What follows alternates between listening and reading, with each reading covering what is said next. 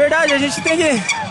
Teve a oportunidade de fazer os gols hoje, a gente não aproveitou, mas a gente vai transmitir essa responsabilidade para lá para Iviema e vamos é, fazer, fazer um bom jogo lá, fazer os gols, fazer o que, que é necessário e sair com a vitória e, se Deus quiser, sair com o título lá buscar esse resultado fora, o Martins, já é um costume já do comercial nessa, nessa, nessa reta de, che de chegada?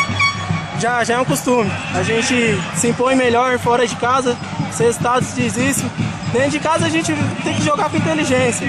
E aí transferir, é, transferir a responsabilidade para fora de casa. A gente é, é, uma equipe forte, a gente não chegou aqui por acaso, estamos disputando uma final de um grande campeonato e vamos ser, ser campeão. Vou lutar para isso, vou batalhar junto com o meu grupo, junto com a comissão técnica, junto com a diretoria.